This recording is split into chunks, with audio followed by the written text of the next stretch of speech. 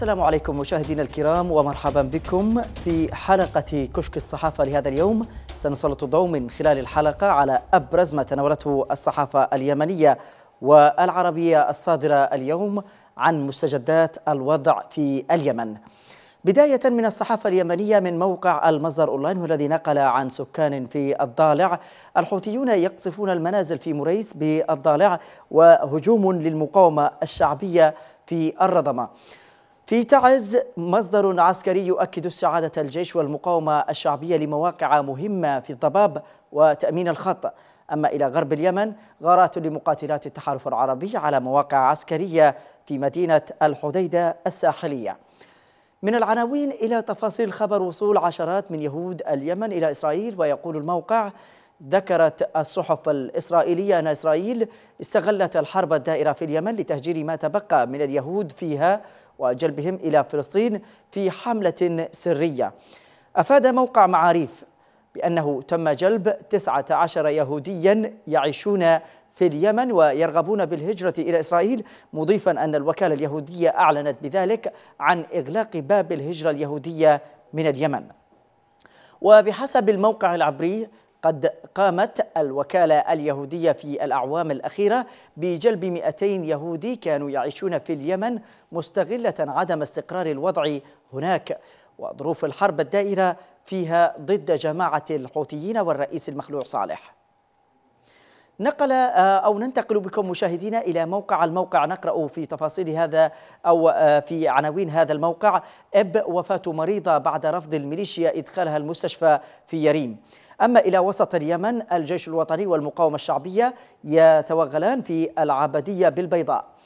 من عناوين الموقع أيضا قيادي يعترف بتخطيط الحوثيين لإفشال فعالية مؤتمرية قادمة. واهتم الموقع بتفاصيل المعارك في محافظة شبوة. جاء في هذا الخبر تمكنت قوات الجيش الوطني والمقاومة الشعبية من تحرير مديرية عين إحدى مديريات شبوة من جهة الغرب. وقال مصدر عسكري إن وحدات من اللواء 26 مشاة والمقاومة الشعبية في مديريتي حريب وعين تمكن من تحرير مديرية عين بالكامل بعد تحرير مديرية حريب بيوم واحد. وأكد المصدر أن معركة تحرير حريب وعين هي معركة واحدة بالإضافة إلى تحرير ما تبقى من مديريات بيحان أو مديرية بيحان حيث تتقدم قوات الشرعية في عسيدان لإتمام تحرير بيحان بالكامل وقطع الخط الرئيس الذي يمون الانقلابيين بالسلاح والمشتقات من المكلا وسواحل شبوة مرورا إلى محافظة البيضاء. عن فاجعة مقتل المصور الصحفي محمد اليمني على يد ميليشيا الحوثي كتب عامر السعيدي مقالا لخص فيه لحظات عاشها مع الصحفي محمد. ويقول السعيدي الكرامة لا تموت النهر لا يتوقف القمر لا يسقط الصدق لا يذهب والحياة لا تنام يا محمد اليمني. اليمني يا له من اسم فخم وشاهق وعصي حتى على الموت. إنها اليمن في اليمني الإنسان والتراب الثورة والنور الحلم والأمل الجميل صديقي. لا بل صديقنا لا بل صديق الخيمة والشارع والعابرين صديق المظلومين والمتمردين والغاضبين. محمد أيها المصحف الوطني الشريف يا أغاني روعتنا ويا مطر فرحتنا يا قمح الأحلام وسنبلة الفقراء وصباحات المستقبل الذي رسمناه على الأرصفة والجدران. لا تسموه شهيدا فالمسيح لم يصلب ولن يموت. ما قنصوه ولا قتلوه ولكن شبه لهم ولكم. هو هناك خلف التل يرقب لوعتنا ويبتسم. سيعود محمد على شكل غيمة تظلل المدينة وتروي عطشها. سيحلق في الأعلى كنجمة الصباح لكي يحرسنا من الشجن. وسيكون بالقرب منا كما لم يفعل من قبل. لقد قتلوك يا آخر الملائكة قتلوك يا بيت السلام قتلوك يا أناشد أيوب قتلوك يا طعام المحتاجين قتلوك يا مطلع الفجر وزهرة الوادي. لم تحمل السلاح بل الكاميرا لتظل عنوانا عريضا للسلمية التي رضعناها معا من صدر أمنا الثورة. ومع ذلك قتلوك طالما دافعت عنهم يا محمد والتقطت الصور لقادتهم في المناسبات ولشبابهم في المسيرات. لكنهم قتلوك. لن أصدق يا محمد لكنني أبكي كأم مكسورة. أبكي وأتذكرك في كل لحظة وأنت تسأل إن كنا تناولنا العشاء أو نخرج لتطعمنا وتسقينا. نم قرير العين والقلب يا محمد اليمني ونقسم باسمك العظيم ألا تموت وستظل حيا فينا تطاردهم وتلعن أيامهم وتبصق في وجوههم.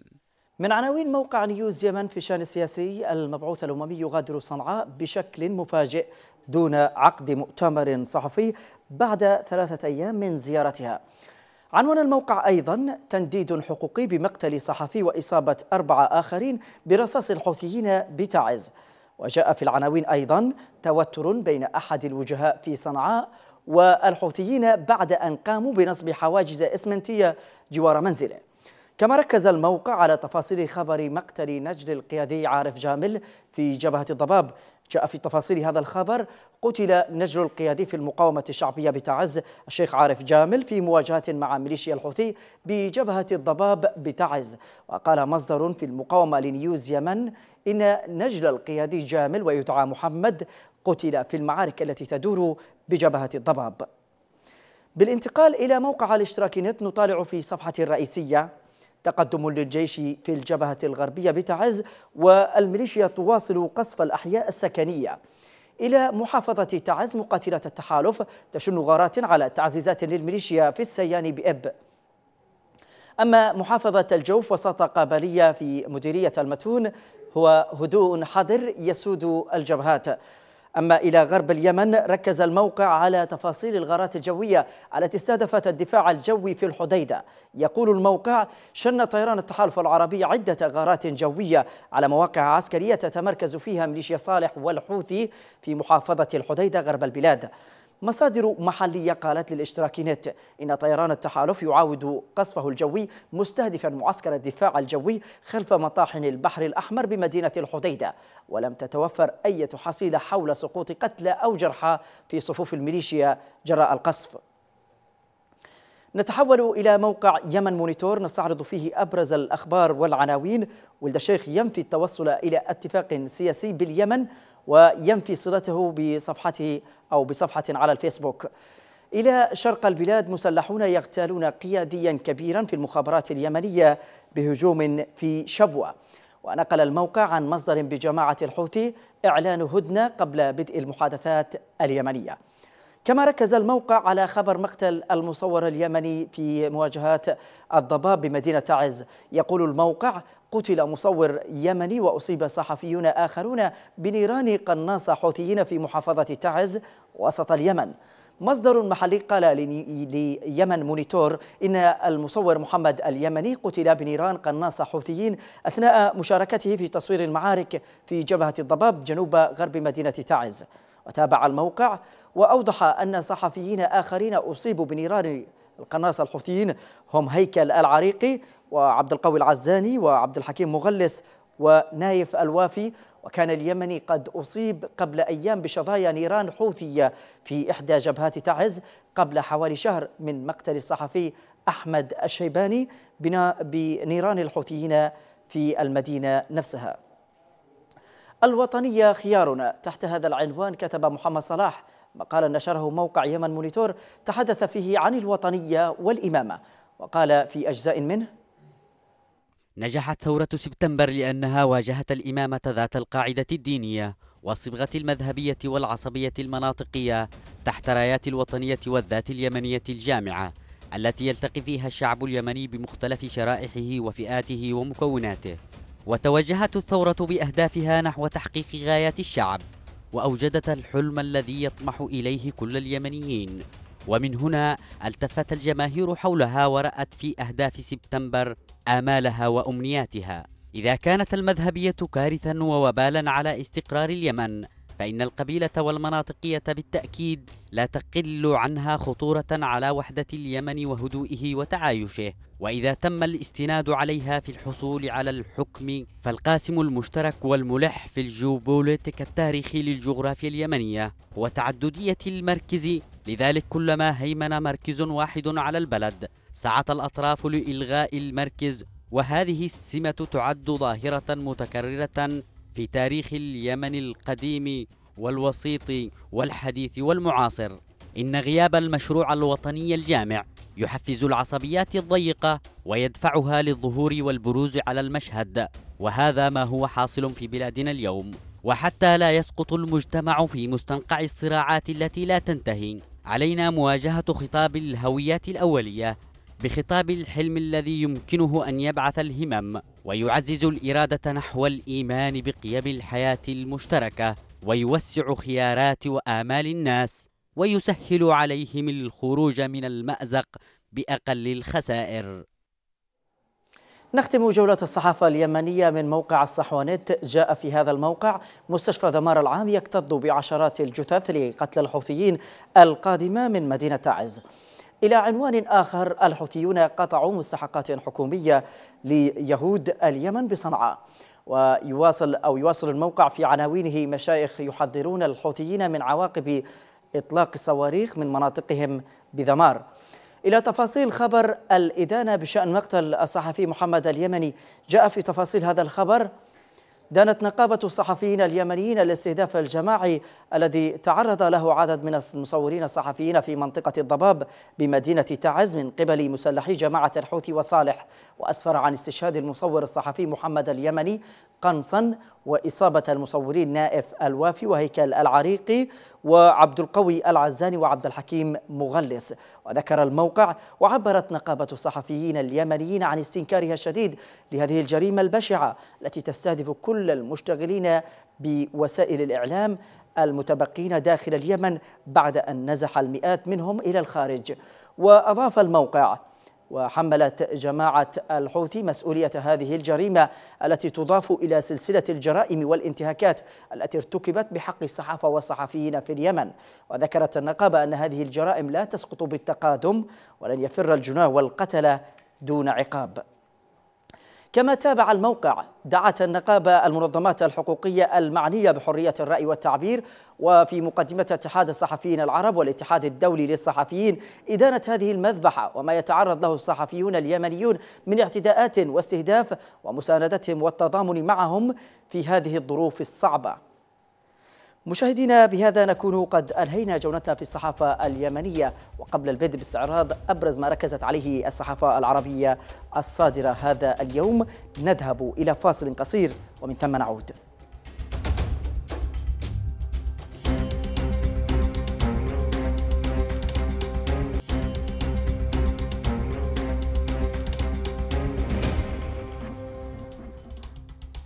نعود الترحيب بكم مشاهدينا الكرام وناخذكم الآن في جولة بين أهم ما قالته الصحافة العربية الصادرة اليوم البداية من الشأن السياسي الذي ركزت عليه صحيفة القدس العربي وعنونت.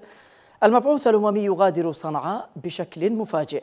نقلت الصحيفة عن مصدر خاص أن ولد الشيخ غادر من دون الحديث لوسائل الإعلام أو عقد مؤتمر صحفي كان من المقرر في ختام الزيارة التي استمرت لثلاثة أيام والتقى خلالها قيادات من الحوثيين وحزب الرئيس المخلوع صالح. وأكدت مصادر سياسية أن زيارة ولد الشيخ إلى صنعاء لم تخرج بأي نتائج إيجابية سوى الاتفاق على مقر انعقاد المشاورات المرتقبة بين الحكومة الشرعية والحوثيين في دولة الكويت دون تحديد موعدها. ووفقا للمصادر فقد أبدى الحوثيون وحزب صالح تعنتا في الموافقة على الذهاب إلى مشاورات جديدة دون وقف تام لإطلاق النار ورفع الحصار الجوي والبحري الذي يفرضه التحالف.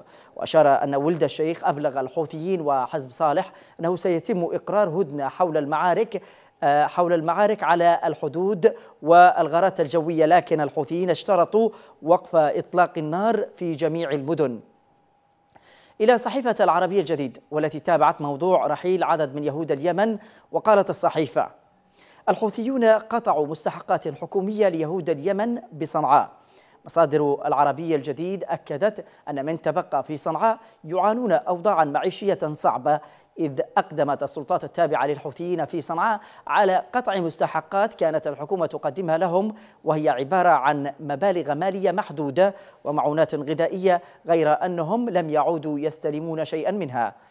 كما كشفت مصادر يمنية مطلعة عن رفض عشرات المنتمين للطائفة اليهودية مغادرة البلاد على الرغم من الأوضاع المعيشية الصعبة التي يعيشونها في ظل الحرب الدائرة بالبلاد. وأوضحت مصادر مقربة من الطائفة اليهودية للعربي الجديد أن نحو أربعين شخصا من صنعاء أو في صنعاء وعدد محدود في عمران هم من تبقى من يهود اليمن رفضوا مغادرة البلاد مع المجموعات التي جرى تهجيرها بتنسيق مع الخارجية الأمريكية. وتقول الصحيفة يعد هؤلاء المرحلون إلى الأراضي المحتلة جزءا من عدد محدود من يهود اليمن الذين فضلوا البقاء في البلاد ويقيم أغلبهم في منطقة سكنية بصنعاء. إلى صحيفة البيان والتي تابعت أيضا الشأن السياسي وعنونت الانقلابيون يعرقلون مسار الحل السياسي في اليمن. تقول الصحيفة واصل الانقلابيون في اليمن وضع عصا التعطيل على دواليب الحل السياسي. حيث نفذت أو نفت مصادر سياسية يمنية رفيعة صحة الأنباء التي تتحدث عن اتفاق على موعد للجولة المقبلة من محادثات السلام وإبرام هدنة لمدة أسبوعين. وأكدت المصادر أن الطرف الانقلابي لا يزال يرفض تحديد مكان المحادثات وموعدها مشترطا لوقف غارات التحالف على مواقعه.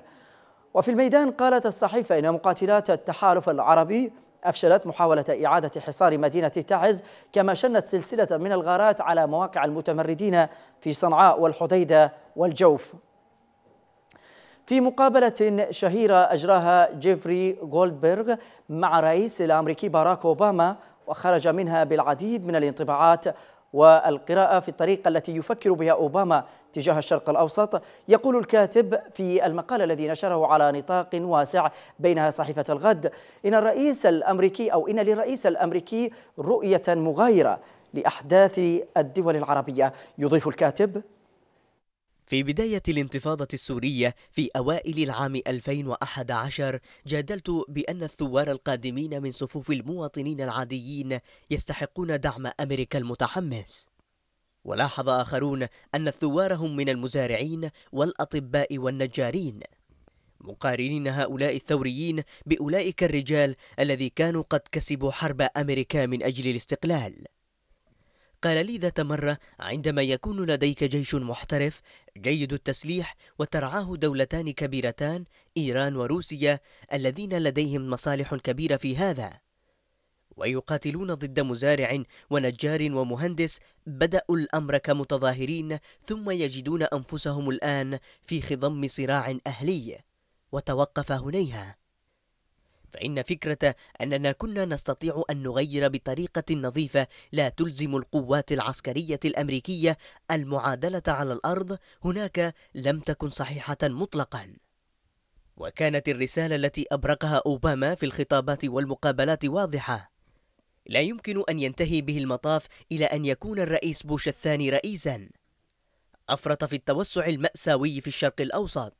بحيث تملأ قراراته عنابر وولتر ريد بالجنود المصابين بجراح خطيرة والذي عجز عن وقف تدهور سمعته حتى عندما قام بتعديل سياساته في فترة ولايته الثانية. ويقول أوباما في الجلسات الخاصة إن المهمة الأولى لأي رئيس أمريكي في مشهد ما بعد بوش العالمي هي لا تفعل شيئا أحمقا. وفي فترة ولايته الأولى خلص إلى الاعتقاد بأن حفنة فقط من التهديدات في الشرق الأوسط هي التي يتصور أنها قد تبرر تدخلا عسكريا أمريكيا مباشرا هناك. وشمل ذلك التهديد الذي يشكله تنظيم القاعدة الأخطار التي تتهدد استمرار وجود إسرائيل. سيكون فشلا أخلاقيا لي كرئيس للولايات المتحدة عدم الدفاع عن إسرائيل كما قال لي في إحدى المرات.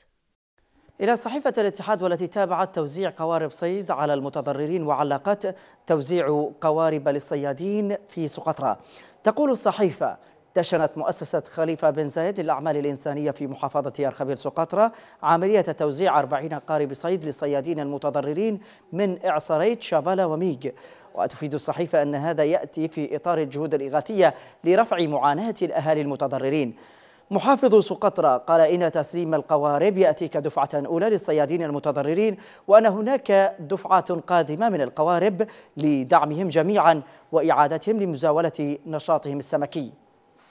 أما بالانتقال إلى صحيفة الخليج والتي عنونت في إحدى موضوعاتها الشرعية اليمنية جاهزة لمشاورات جادة تفضي إلى إنهاء الحرب. ووفقا للصحيفة فقد أعلن مسؤول حكومي يمني جولة مفاوضات جديدة بين طرفي النزاع قد تعقد في الكويت قريبا برعاية الأمم المتحدة تكون مصحوبة بوقف مشروط لإطلاق النار.